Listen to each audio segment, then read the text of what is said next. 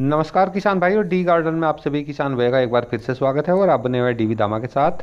किसान भाइयों, इस वीडियो में आज हम बात करने वाले हैं कि गेहूँ की पहली सिंचाई पर हमें किन किन उर्वरकों का प्रयोग करना चाहिए, जिससे गेहूँ में काफ़ी अच्छी टेलिंग हो सके और काफ़ी अच्छे से हमारी फ़सल ग्रोथ कर सके और काफ़ी अच्छी पैदावार हमें मिल सके। लेकिन सबसे पहले बात करेंगे हम अपनी गेहूँ की फ़सल की बुआई की।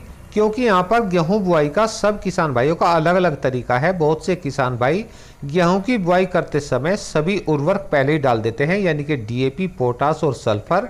और बहुत से किसान भाई देखिए बुआई करते समय सिंगल सुपर फास्फेट का उपयोग करते हैं और उसके साथ में कुछ पोटास भी डाल देते हैं और सल्फ़र भी डाल देते हैं।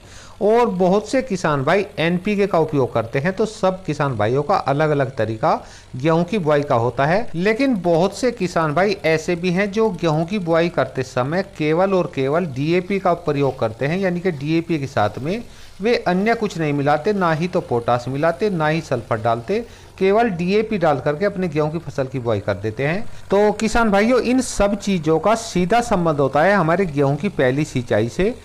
एक वे किसान भाई हो गए जिन्होंने सभी उर्वरक डाल करके पहले अपने गेहूँ की बुआई कर दी है। एक वे किसान भाई हो गए जिन्होंने केवल डीएपी डाल करके अपने गेहूँ की फ़सल की बुआई कर दी है। तो सबसे पहले बात करते हैं उन किसान भाइयों की, जिन किसान भाइयों ने केवल और केवल अपनी गेहूँ की फ़सल में डीएपी डाल करके बुआई की है तो वे किसान भाई पहली सिंचाई पर यूरिया खाद के साथ में मिला करके पोटास भी डाल सकते हैं और सल्फ़र भी डाल सकते हैं।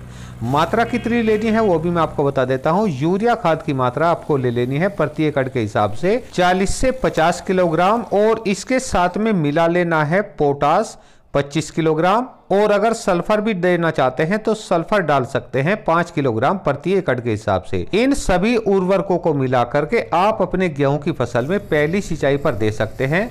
इससे आपके गेहूँ की फ़सल काफ़ी अच्छे से ग्रोथ करने लगेगी, और जिन किसान भाइयों ने सभी कुछ, यानी कि पोटास, डीएपी और सल्फ़र गेहूँ की बुआई करते समय डाल दिया है तो वे किसान भाई केवल और केवल पहली सिंचाई पर 40 से 50 किलोग्राम यूरिया खाद लेकर के उसको अपनी फ़सल में डाल सकते हैं। जिससे उनके पौधे भी काफ़ी अच्छे से ग्रोथ करने लगेंगे क्योंकि उन्होंने बुआई करते समय जो उर्वरक डाले थे, पहली सिंचाई के साथ ही पौधों की जड़ों को मिलने लगते हैं, जिससे उनके पौधे काफ़ी अच्छे से ग्रोथ करने लगते हैं।